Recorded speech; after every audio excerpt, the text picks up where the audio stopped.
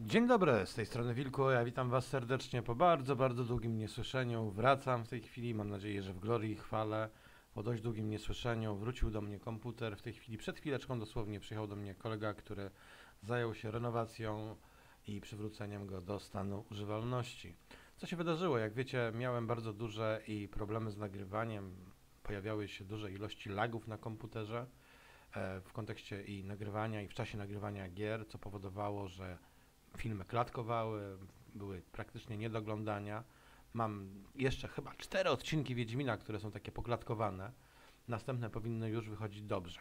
Co się wydarzyło? Wydarzyło się to, słuchajcie, że po wielu sprawdzaniach, tutaj wielkie dzięki, naprawdę bardzo dziękuję Janku, Kulturalny Wilku, za pomoc oraz za wsparcie ze strony Ragnara, Winterwerewolf i całej reszty moich przyjaciół youtuberów, z którymi robię podcasty.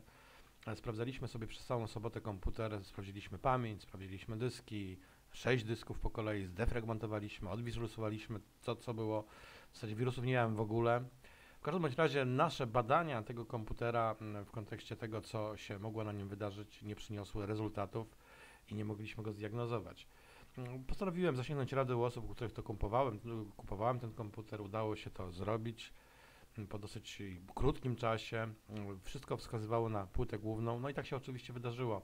Mam nową płytę główną, która jest dosyć silna, nawet bardzo silna, to jest jedna z najsilniejszych płyt na obe- obecnych na rynku. I okazało się, prosta rzecz, słuchajcie, w momencie, kiedy ja kupowałem komputer, nie było dostępnej aktualizacji BIOSa tego, tej płyty i ten BIOS się po prostu wykrzaczył. E, myśleliśmy na początku, że w ogóle jest to wina płyty, że to jest konflikt sprzętowy, że może programy do nagrywania się krzaczą. Nie. Okazało się, że problem leży dokładnie po stronie BIOSa, który został zaktualizowany, e, na nowo go wgraliśmy i okazało się, że komputer w tym momencie już będzie chodził prawidłowo. Miejmy nadzieję, że bez większych problemów. E, Będziemy to testować e, tutaj jeszcze wspólnie z moim przyjacielem przez e, dwa dni. W międzyczasie ja dorzucę te zlagowane odcinki Wiedźmina i mam nadzieję, że uda mi się wrócić do cyklicznego wrzucania odcinków. Dodatkowo w ogóle jakiś pech mnie niesamowity, słuchajcie, prześladował. Otóż była premiera w tej chwili Halo 5 e, Guardian. No i problem polegał na tym, że przyszło do mnie, słuchajcie, e, przyszła do mnie ta konsola już jakiś czas temu, dawno. Ja ją uruchomiłem niedawno całkowicie, bo nie mogłem wcześniej jej, mm, jej pokazywać. Dostałem ją w prezencie od Xboxa.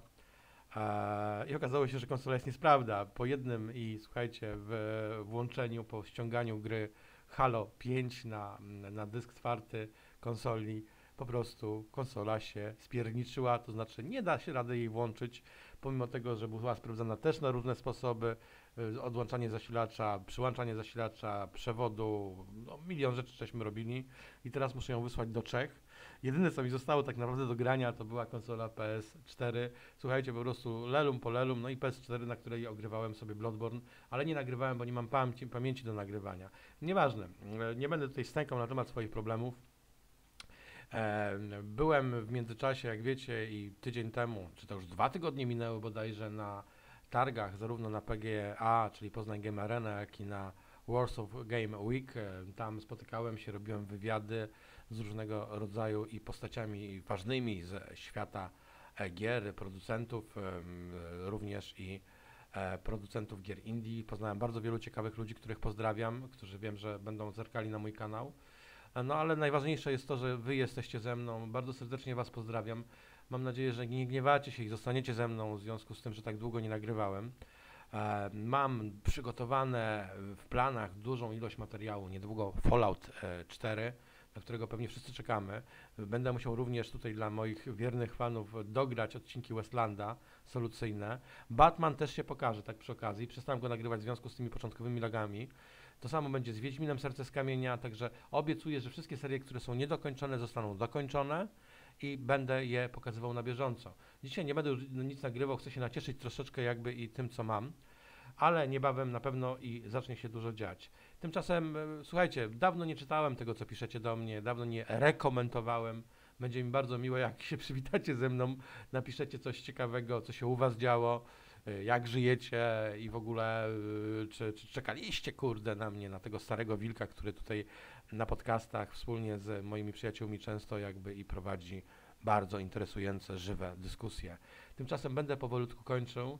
Mam nadzieję, że, że, że, że nie było to problemem wszystko. Dzisiaj już bez muzyki nie znalazłem nic, co było warte polecenia w kontekście tła. Także słyszycie tylko mój głos wilczy.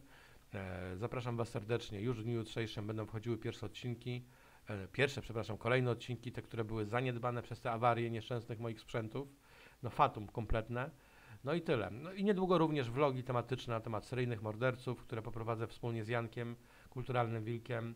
E, niedługo też kolejny podcast, y, który będę wrzucał. No i obserwujcie mój kanał. Na pewno będzie się rozwinął, na pewno się będzie działo dużo ciekawych rzeczy. Ja wracam powoli do życia. Pozdrawiam Was wszystkich bardzo ciepło. Jesteście wielcy, jak zwykle, to będę ciągle powtarzał. I do usłyszenia w Let's Playach. Cześć.